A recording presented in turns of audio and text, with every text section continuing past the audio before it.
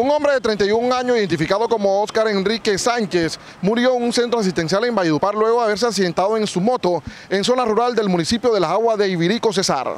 En un centro asistencial en Valledupar, falleció un joven que había sufrido un accidente de tránsito registrado en el sector de Las Palmitas, jurisdicción del municipio de Las Aguas de Ibirico, Cesar.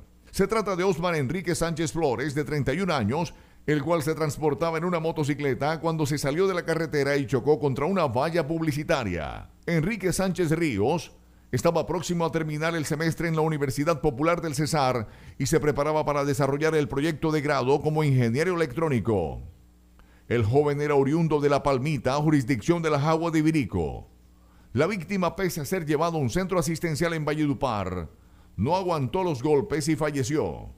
Su cadáver fue llevado a la morgue de medicina legal para la necropsia.